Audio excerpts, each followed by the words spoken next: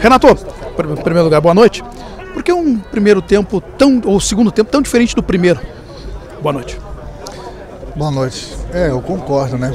Nós fizemos um primeiro tempo muito bom. Conseguimos a vantagem nos primeiros 45 minutos.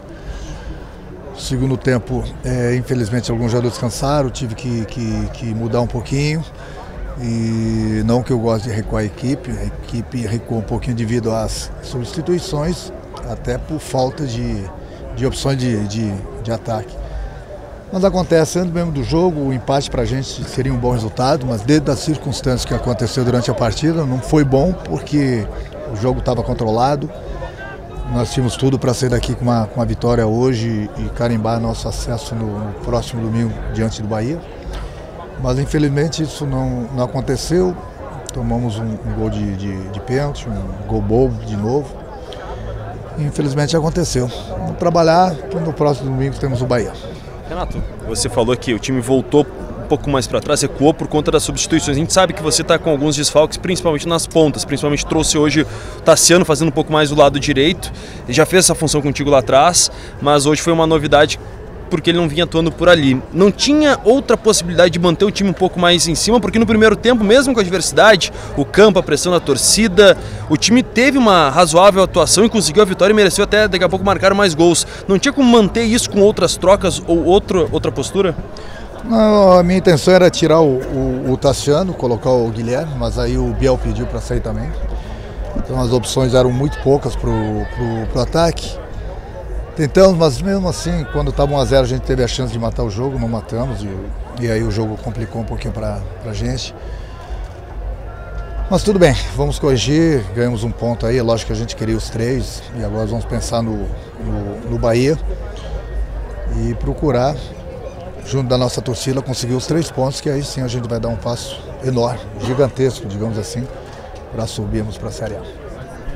Antes, né, antes, do gol, você tinha chamado o Guilherme ali para aquecer até uma hora. Depois do gol, você acabou mudando de ideia. Tudo que, era, você queria mudar no intervalo? Você tinha pensado alguma coisa que o gol acabou mudando a tua estratégia? Não, no primeiro tempo vocês não viram. Eu, eu, é por isso que o treinador tem para ver. O Tassiano colocou a mão na perna e ele veio de uma lesão muscular. Eu pensei que ele havia sentido. Estava controlando ele, conversando com ele para ver se ele estava realmente sentindo. Por isso que mandei o Guilherme aquecer, que o Guilherme iria entrar no, no, no lugar dele mas ele falou que só estava com a perna pesada. No intervalo do jogo conversei com ele, falou que dava para voltar, tanto é que ele voltou, foi até onde, até onde pôde, até porque ele estava cumprindo uma outra função hoje e ele foi bem. Só que infelizmente aquilo que falei, nós tomamos um gol que não poderíamos ter tomado, principalmente da, da origem da jogada que ocasionou o escanteio para o Londrina. Renato, depois do jogo contra o CSA, você disse o seguinte, né? Não dá para deixar para a última hora, temos que conquistar esse acesso o mais rápido possível, mas pensando jogo a jogo. Com esse ponto que você leva aqui de Londrina, qual que é a projeção? A gente veio para buscar os três pontos, né? Aquilo que eu falei antes do jogo, é um adversário difícil de ser batido aqui. Eles também estavam brigando por alguma coisa. É, antes do jogo, o empate seria bom, seria bom para a gente. Mas dentro das circunstâncias, pelo que aconteceu durante a partida, não foi bom porque o jogo estava controlado. Mesmo com o time tendo recuado um pouquinho, o jogo estava controlado. Infelizmente a gente deu uma bobeira aí e eles tiveram o pênalti, e foi pênalti, e tiveram o gol de empate. Mas tudo bem, a gente vai aprender. Vamos trabalhar durante a semana porque tem o Bahia no próximo domingo. Renato, uh, você falou sobre as alternativas que estão escassas, né? Anteriormente, principalmente nesse setor de ataque. Você espera contar, por exemplo, com o Ferreira, o Campaz logo ali adiante? Tem uma previsão contra o Bahia, daqui a pouco depois contra o Náutico? O que, é que dá para projetar desses dois jogadores que podem fazer essas funções? Não pode, mas é, é, difícil falar agora. Eles estão entregues ao departamento médico, eles não estão com o grupo ainda. Fica difícil contar com os dois jogadores, porque você começa a pensar nesses jogadores no momento que estiverem entregues ao, ao grupo. Coisa que nem o grupo ainda eles estão. Então, é quase que não tem, não tem previsão, é, digamos assim que é uma coisa quase que impossível eles estarem à disposição do jogo contra o Bahia. Então o grupo é esse, a gente vai com esses aí, aquilo que falei. Nós iríamos sofrer, eu sempre falei isso. Vamos sofrer até o final. Mas pode ficar tranquilo, o Grêmio vai subir. Renato, você é um treinador que gesticula muito com os jogadores e puxa durante o jogo, principalmente para corrigir ou dar um toque do meio para frente, principalmente com os atacantes. O Diego Souza é outro que, que gosta bastante de falar com os jogadores.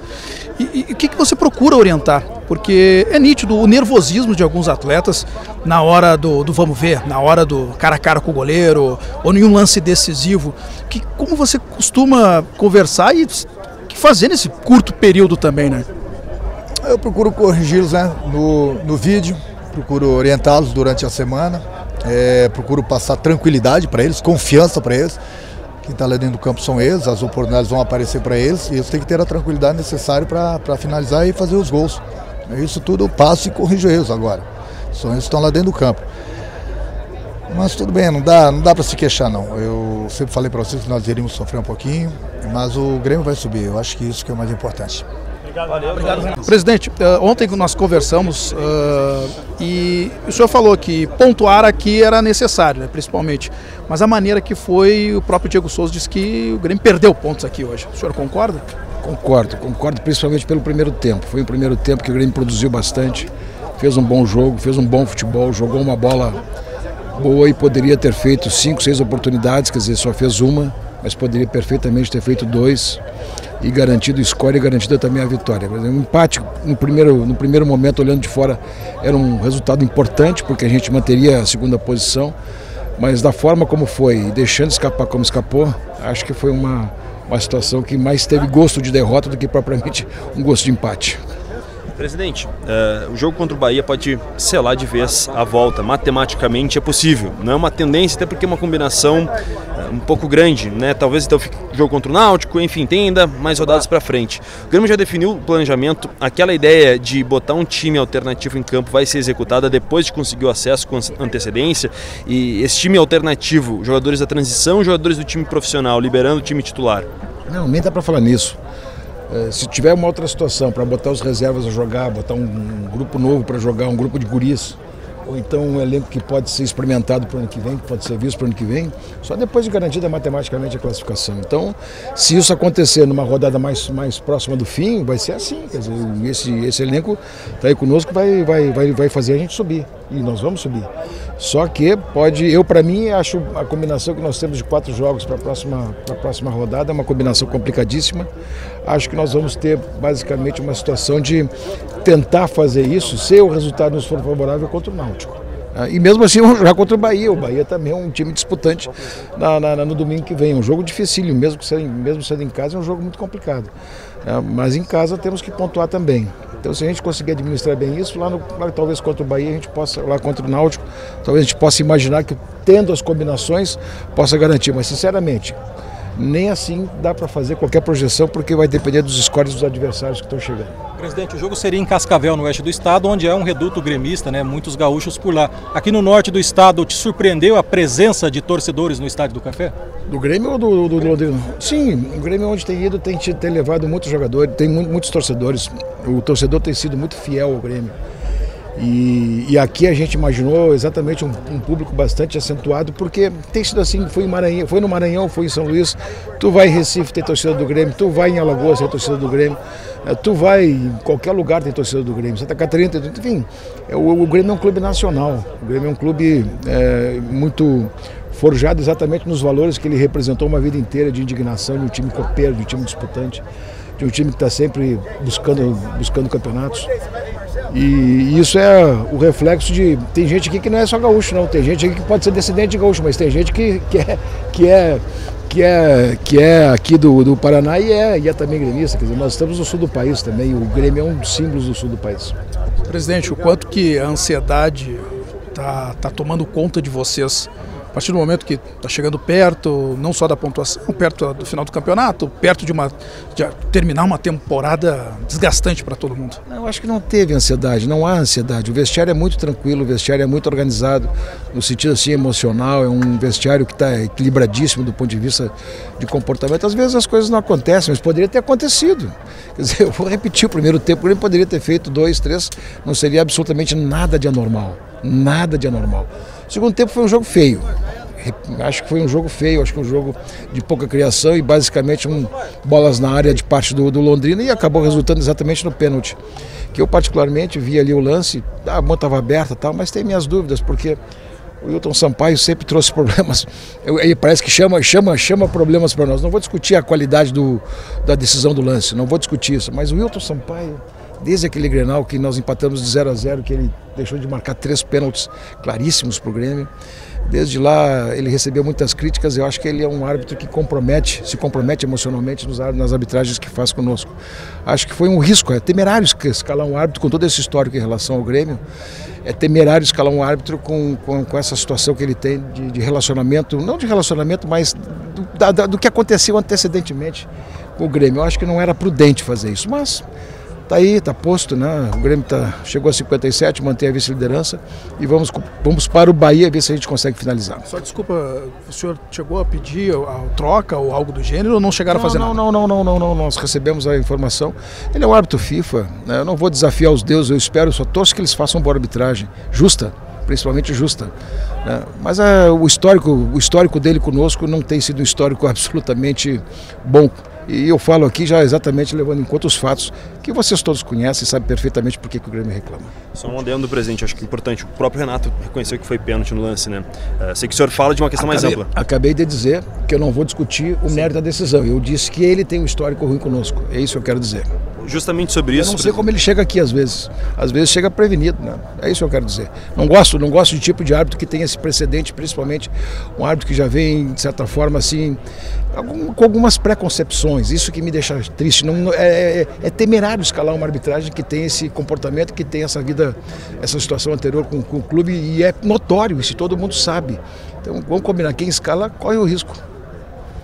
Presidente, justamente um pouco nesse ponto, também em cima da pergunta anterior, o senhor não detecta um nervosismo. O senhor pelo menos sabe que, por exemplo, que tem um histórico ruim de uma arbitragem. O que, é que a direção pode fazer? O que está ao alcance da direção para ajudar nesse momento para que essa travessia final, nesses últimos instantes, seja tranquila e sem grandes sustos? Desde uma estrutura, logística, o que está ao alcance da direção para tornar nesse momento o que vocês podem fazer para tranquilizar essa reta final? Tudo que está ao nosso alcance está sendo feito não falta absolutamente nada. O Grêmio dispõe, as logísticas são frutos exatamente das, das nossas, dos nossos deslocamentos, que não tem deslocamento direto. Então a gente tem que sujeitar isso, né? dar os atrasos, atrasa mais um pouco. Não tem essa situação. O, o, que nós temos que fazer é o que, temos, o que estamos fazendo.